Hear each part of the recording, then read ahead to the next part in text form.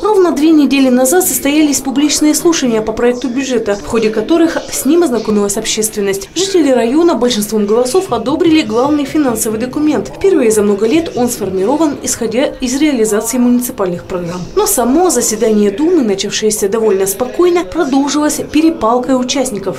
Вы же не хотите вникать в эти нюансы. Вы хотите, чтобы дай. А куда деньги уйдут? Кто их отмоет? Куда заберут? Вас это не интересует. Вы сформулировали, я ставлю на голосование. Кто за предложение Валерия Ивановича, прошу голосовать. Во-первых, Сан Саныч, я прошу извиниться передо мной, потому что вы сейчас меня обвинили в том, чего не должны были делать. Это первый пункт. А дальше продолжим наш разговор. Я не понимаю, в чем вы сейчас меня упрекаете. Вот свои извинения в данный момент вам приносить не буду, когда вы мне сможете объяснить, в чем я перед вами провинился.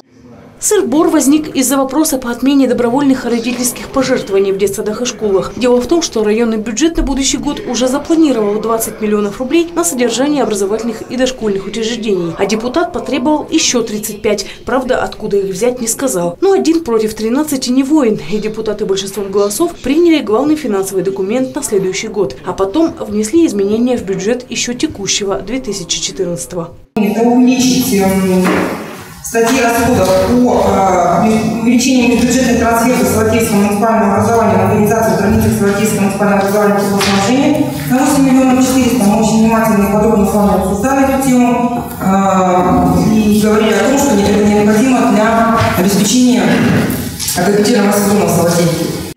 Того, району удалось сэкономить на обучении госслужащих и еще некоторых статьях, а также выделить более полутора миллионов рублей отделу по физической культуре и спорту администрации АМО. Так, 300 тысяч из этой суммы пойдут на организацию катка возле бассейна Ангара, который вскоре появится там на месте бывшей автостоянки. Ольга Дерибера, Владимир Селиванов. Местное время.